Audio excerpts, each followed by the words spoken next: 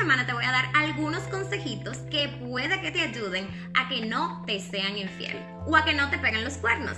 Presta mucha atención a estos consejitos porque tal vez te puedan cambiar la vida. Hola amigos, bienvenidos a mi canal, gracias por visitarme, mi nombre es Marlene. El que no ha vivido una infidelidad por cuenta propia lo ha hecho a través de familiares y amigos cercanos. Todos sabemos el dolor que esto puede causar y los daños irreparables que pueden producirse productos de una infidelidad.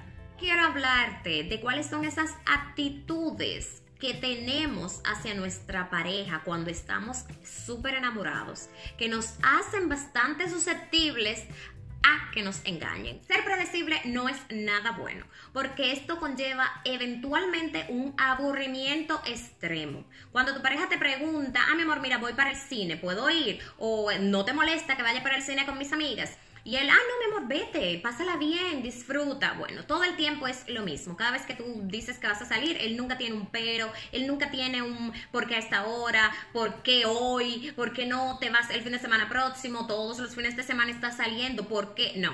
No, no, no. Él solo dice, sí, ok, sí, ok. Esto no es bueno.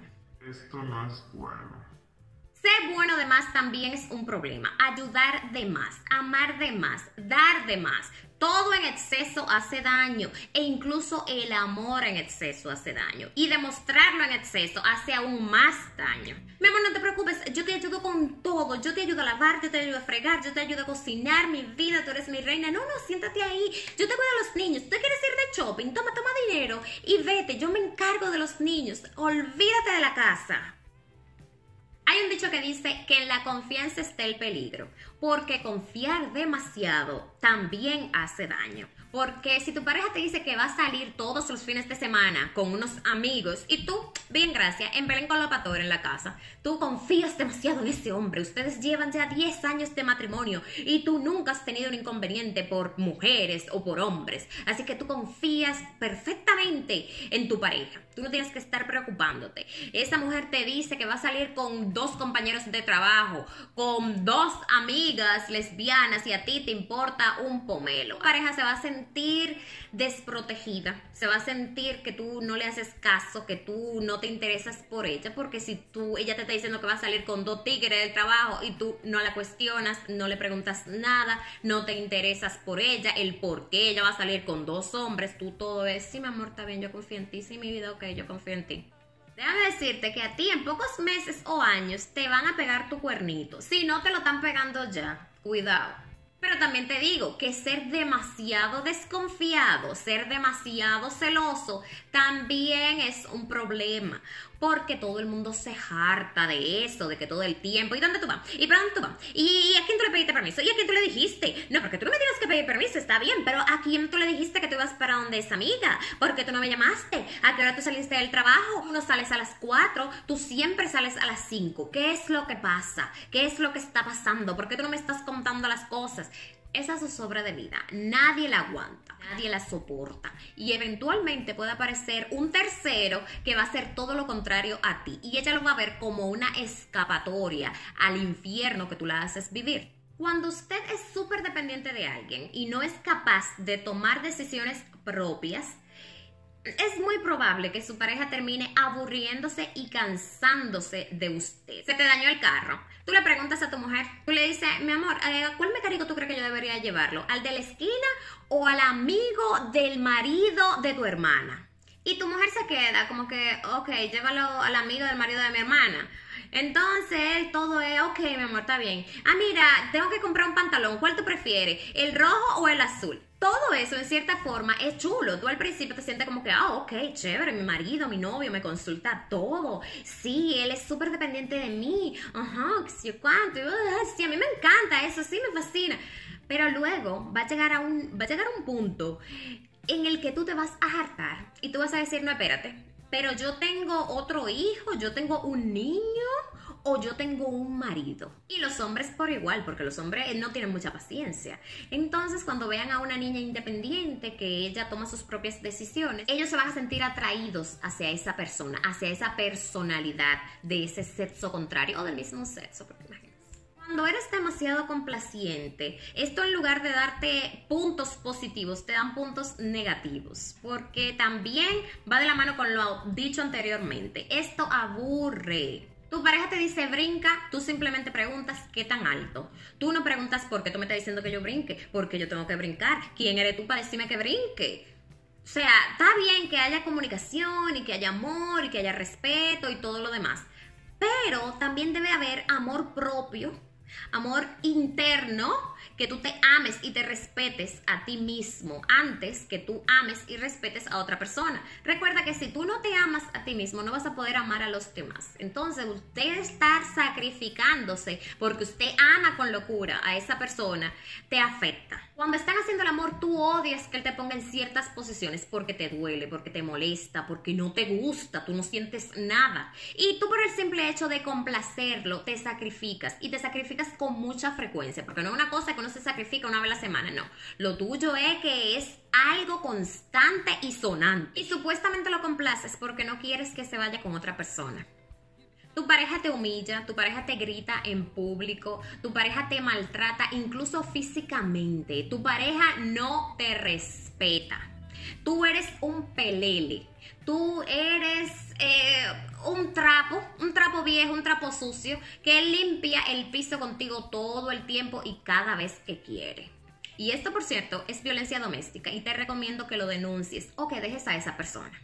Le tienes miedo a tu pareja.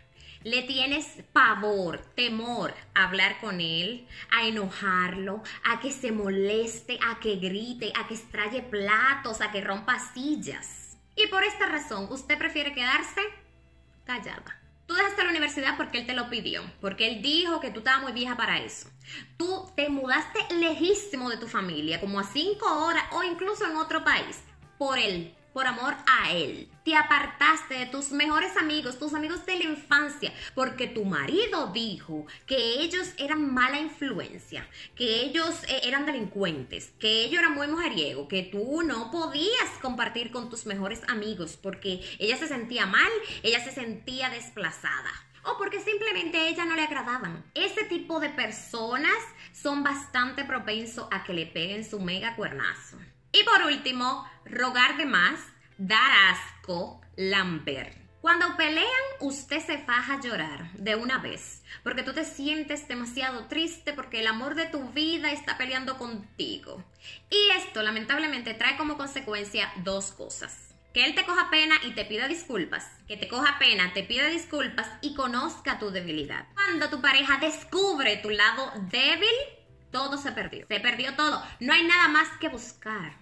¿Sabes por qué? Porque él se va a aprovechar de esa debilidad para lograr sus objetivos, para lograr su propósito sin que tú estés en el camino. Si por ejemplo tu mamá es tu debilidad, él puede decirte algo como esto. Tú eres una alcohólica igual que tu madre y te vas a morir igual que ella. Usted se desmoronó eso fue la gota que rebosó la copa para que tus lágrimas salieran y fluyeran de tu cuerpo y tú te volvieras loca. Porque tú te encierras en esa habitación y eso es llanto, llanto, llanto, llanto. Ya tú estás noqueada, mi amor. Ya tú no sirves más para la noche entera. Y tú sabes lo que le hace, querida. Se va. Él se él lo hizo intencionalmente porque él tenía un fin de semana planeado con sus amigotes o con ciertas personitas. Él necesitaba salir de ti. Él necesitaba tener una excusa para escabullirse. Y tú, mi linda, se la diste, se la serviste en bandeja de plata. Pues el lunes él se aparece con su carita limpia y dice que todo fue culpa tuya, porque tú te pusiste a llorar y tú sabes perfectamente cómo le clavas un puñal en el corazón cada vez que lloras. Y como usted está aficiada de su tigre, usted nunca ha tenido una relación fallida en el pasado y tú te crees la película. Y usted es la que termina pidiéndole disculpas a ese descarado o a esa descarada, claro. A usted, Hay un dicho que dice que la perfección hace daño. Y yo creo que esto es completamente cierto, porque usted ser demasiado perfecto conlleva aburrimiento. No se trata de ser malo, de ser mal hablado, de ser grosero, de no ser cariñoso, de no ser bueno con tu pareja, de ser súper desconfiado todo el tiempo. No se trata de nada de esto. Simplemente debes tener una balanza en tu vida, en tu relación. Los extremos son malos. Hasta beber agua en exceso hace daño. Hasta dormir en exceso hace daño.